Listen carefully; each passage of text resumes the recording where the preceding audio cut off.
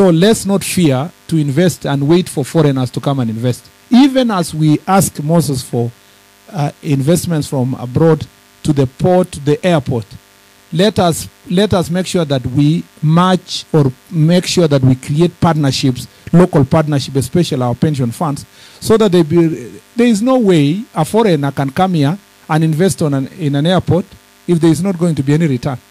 They know there is a return for 30 years.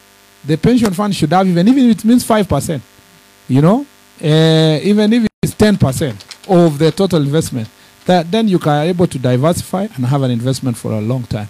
Sorry for uh, saying a lot of things, but really, uh, I'm excited to say this because.